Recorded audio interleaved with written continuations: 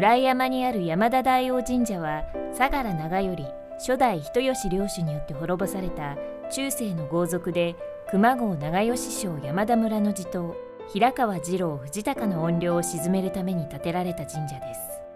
かつて平川氏が治めていた熊川より北の土地に山田大王神社をはじめとした4つの大王神社は建てられました。創建の時期は不明。宗札から1299から1301年の間に創建されたと推測されます。その後本殿は1546年拝殿1580年に修繕修復され1761年には拝殿神具所が新しく作り直されました。毎年11月には五穀豊穣を祈願する例大祭が行われています。鎌倉室町時代の寺社建設が大変きれいな状態で残っているのは南九州では希少なことです。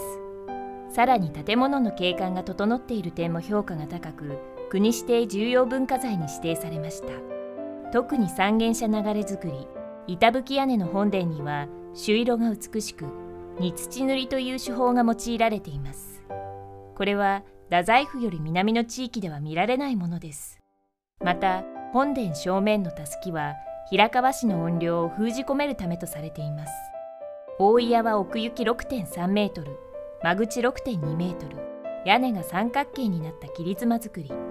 拝殿は奥行き9.7メートル間口4.9メートル一重4方向に屋根が傾斜する寄せ棟屋根